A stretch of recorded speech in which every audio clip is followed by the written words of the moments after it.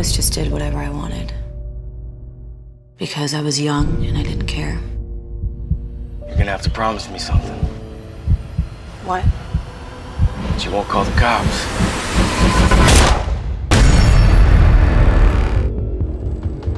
Um, hello, Miss Carlisle? Mrs. Ben Saunders, gardener extraordinaire. Ready to get started.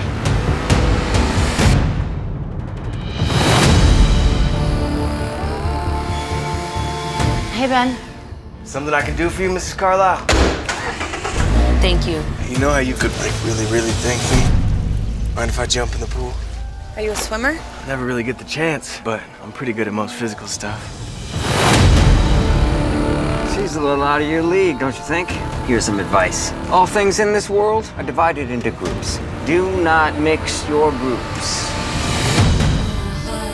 Look, I don't have anything. And I see your house and your car. You have all these beautiful things, and they aren't being taken care of.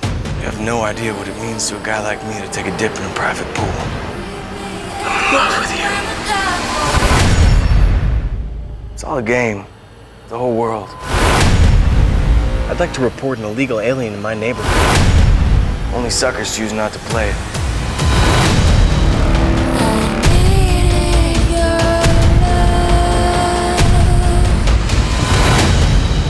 Like her. You want her.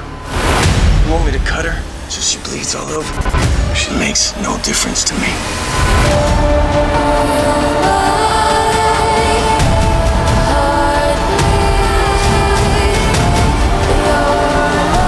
You want something that doesn't belong to him. What? You. Kind of overstayed my welcome. Maybe you should go. Do you want me to?